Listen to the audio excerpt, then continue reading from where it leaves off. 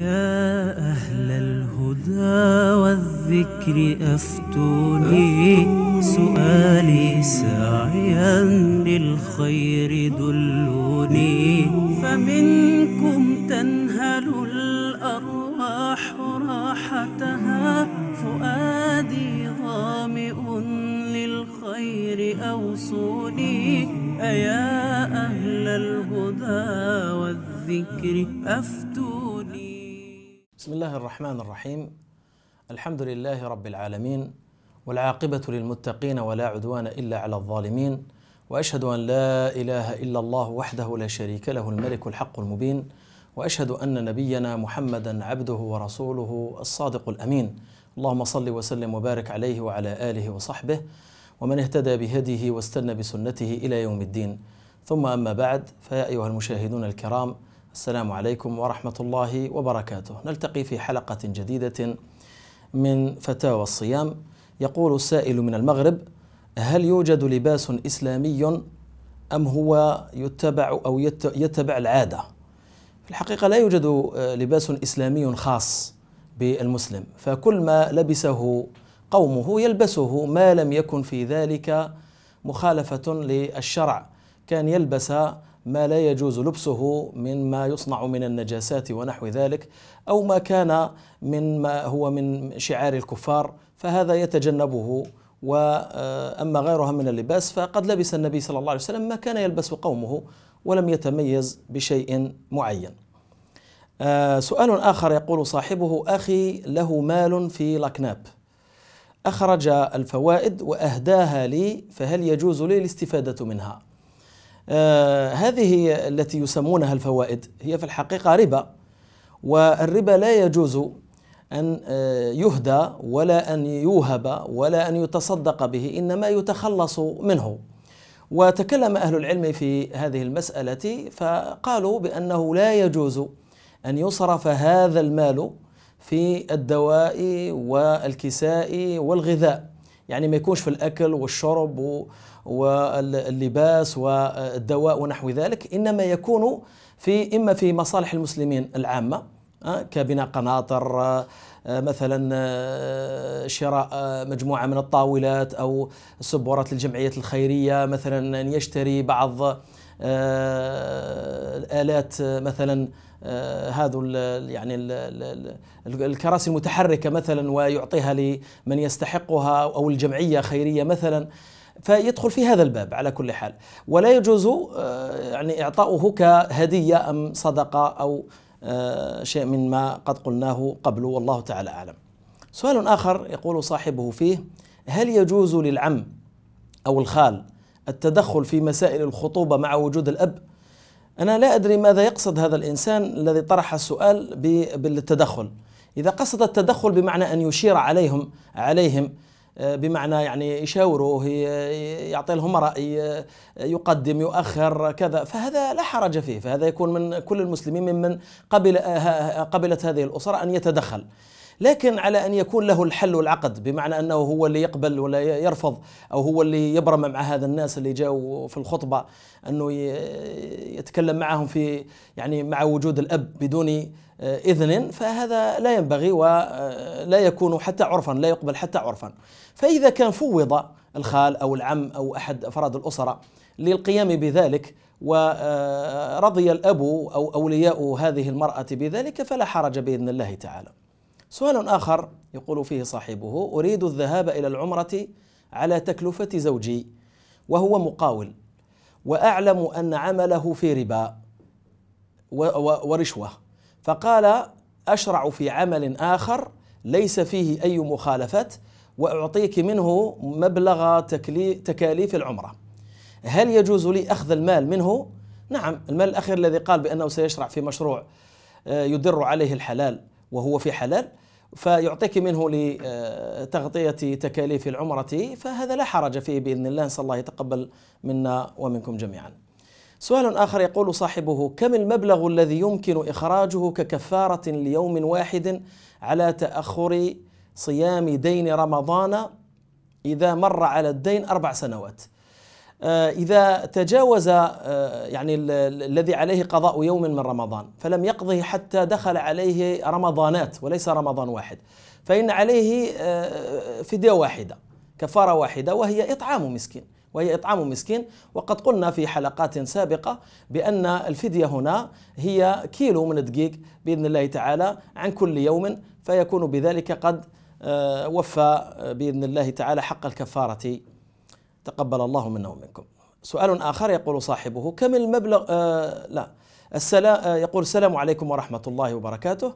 لقد كنت قبل الزواج والحمد لله مواظبة إذا هي سائلة كانت مواظبة على الصلاة ولكن بعد أن تزوج تزوجت لم أجد في بيت زوجي حماما أو كما نقول بالعامية دوش. الذي أغتسل فيه من الجنابة من أجل الصلاة نظرا لحالته المادية والاجتماعية كما أني لا أستطيع الذهاب يوميا إلى الحمام خارج المنزل فهل يجوز للتيمم من أجل الصلاة كما أني لا أستطيع الاغتسال في غرفة نومي نظرا لبرودة الطقس وأخشى على نفسي وعلى حملي من المرض أفيدوني أرجوكم. الحقيقة أنها طرحت مجموعة من الأسئلة. الأول هو هل يجوز للإنسان للمسلم آه، إذا لم يجد مكانا يغتسل فيه آه، أن ينتقل إلى التيمم؟ نعم يجوز له ولكن إذا استنفذ استنفذ كل كل الوسائل بمعنى أن الإنسان يحرص لأنه يتحرى اتقوا الله فاتقوا الله ما استطعتم كما قال الله جل وعلا سبحانه. فالمسلم يتحرى ويجتهد أنه يجد مكانا يغتسل فيه فإذا لم يجد مثلا حماما والحمام نقصد في داخل البيت بالنسبة للمرأة أو يجد مثلا غرفة وبها جو مناسب لذلك كأن يدخل مثلا سخانا مثلا ويدخل ت- ت- تلطف الجو مثلا فيغتسل. هذا هو الواجب على كل هذا هو الواجب. فإذا استنفذ كل الوسائل ولم يجد وأيقن أو ظن ظنا غالبا أنه إذا ما اغتسل فإنه سيضر بجسده فيؤدي إلى ب- يعني مرضه أو تأخر برء فيه أو ضرر الحمل الذي عندها مثلا. فانها هنا تنتقل مباشرة إلى التيمم على أنها إذا ما توفر يعني متى ما توفر لها الظرف المناسب لتغتسل وجب عليها الغسل بإذن الله تعالى وتصلي ولا تترك صلاتها والله تعالى أعلم. سؤال آخر يقول صاحبه فيه تقدم لبنت رجل لبنت رجل يعمل في صندوق التعاون الفلاحي. اسم المكان الذي يعمل به؟ الصندوق الجهوي للتعاون الفلاحي. فهل يجوز القبول بشخص كهذا للزواج وهل دخله حلال أم حرام؟ أنا لا أعرف الصندوق الجهوي للتعاون الفلاحي. لا أعرف مداخله ولا أعرف هل هو حلال أم حرام.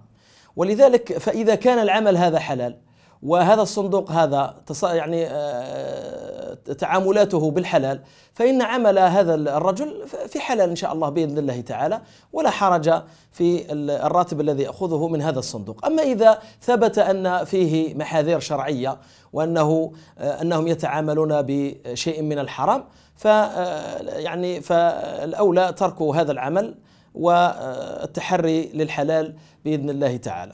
والله تعالى أعلم. سؤال آخر يقول أو تقول صاحبته آه، المرضع تفطر وعليها فدية لكن تأخرت في إخراج الفدية إلى رمضان القادم ما الذي يتوجب عليها؟ يتوجب عليها إخراج هذه الفدية فقط ولا شيء زائد لماذا؟ لأن التأخر في آه، أداء الكفارة آه، يأثم الإنسان إذا كان واجدا بمعنى عنده وكاين له وما حبش يخرج إما ما حبش يخرج تكاسلا وتهاونا أو أنه عنادا. فهنا يتوب إلى الله تعالى من هذا التأخير ويعني يخرج الواجب عليه إخراجه بإذن الله تعالى ونسأل الله يتقبل منا ومنه. سؤال آخر يقول صاحبه هل يجوز دفع الفدية آه، فدية آه، أمي في- أو أبي في الصيام؟ بمعنى أنه لا يستطيع الصيام.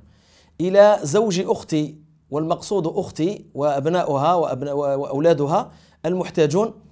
نعم إذا كان يتوفر فيهم شرط المسكنة أو شرط الفقر شرط الاحتياج شرط العوز يعني ما عندهمش ناس ما كاين لهمش فبالأولى أنه يعطي لهم إذا توفر فيهم هذا الشرط.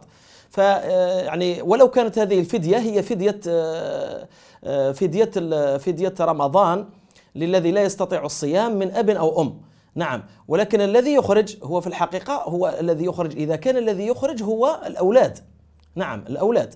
أما إذا كان الذي يخرج هو الأب بذاته من ماله أو الأم بذاتها من مالها فتنوي أنها تعطي لزوج ابنها أو زوج آه، بنتها أقصد زوج بنتها وأولاده بإذن الله تعالى ولا حرج في ذلك والله تعالى أعلم. سؤال آخر يقول فيه صاحبه كنت بحاجة ماسة للمال. فأردت أن أستدين من رجل من شخص لغرض معين ولكنني لم أصرح بغرضي فغيرت وأخبرته بغرض آخر آه، استحياء منه. يعني هو ما أراد أن يذكر له حقيقة ما يريد أن يعمل بهذا المال فأخبره بشيء آخر يريد آه، صرف المال فيه. وأنا في نيته أن أرجع له هذا المال فأعطاني المبلغ وزيادة وقال اعتبرها زكاة ولا ترجعه. فهو يسأل هنا عن حكم هذا. الحقيقة أن المال الذي أخذه آه، لا نقول أنه مال حرام ولكن الطريقة إذا كان قد كذب في ذلك الذي ذكره له فلا يجوز له هذا الكذب. أما المال فلا حرج له في يعني لا حرج عليه فيه. فهو يعني فهو آه، صدقة عليه. إذا كان من أهل الزكاة والصدقة فيعني بإذن الله تعالى نسأل الله يتقبل على الذي أعطاه إياه، لكن الكذب لا يجوز فيتوب الإنسان من كذبه ولا يجوز للإنسان إذا ما أراد آه، أن يستدين أو شيء من هذا القبيل أن يكذب في آه، عرضه لمسألته. لماذا؟ لأنه إذا أراد آه، أن يستدين فإما أن يقول الحقيقة وإما أن يقول آه، أن أن يخبئ الشيء الذي يريد أن يستدين لأجله قال محتاج في ظرف آه، طارئ أو ظرف يعني لحاجة ملحة ويصدق في ذلك والله تعالى يعطيه ويمن عليه. سؤال آخر يقول فيه أو تقول فيه صاحبته امرأة عمري 48 سنة غير متزوجة إخوتي لا يريدونني أن أتزوج بسبب الدار يريدون أن أتنازل عنها قبل الزواج. لحفظ حقوقي. ماذا يقول الشرع والقانون مع العلم معي عقد وكالة؟ إذا تمسكت بهذه الدار فلا يجوز لأحد أن آه، يعضلها على زواج ولا أن آه، يكرهها إلى أن تتنازل عن حقها وما هو في ملكها بإذن الله تعالى وحرام على هؤلاء ظلمها والظلم ظلمات يوم القيامة وهذه المرأة هي بالخيار. إن شاءت أن تتمسك بما هي آه، يعني في يعني ما تحت يدها فلها وإذا رأت أنهم قد ضايقوها مضايقة شديدة فلترفع أمرها إلى آه، جماعة المسلمين أو إلى إمام المسجد أو إلى من يستحي منه إخوتها. نعم. أو إلى إذا اضطر الأمر وصارت تلك المضايقات شديدة فترفع أمرها إلى القضاء بإذن الله تعالى وتحاول أن تثبت حقها وتأخذ حقوقها كاملة. نسأل الله تعالى أن ينفعنا وإياكم بما سمعنا ويجعلنا من الذين يستمعون القول فيتبعون أحسنه.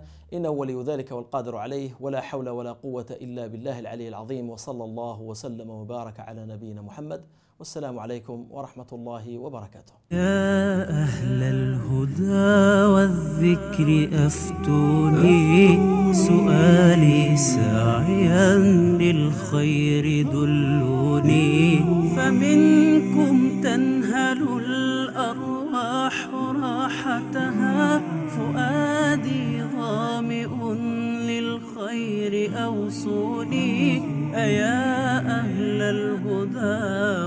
والذكر أفتوني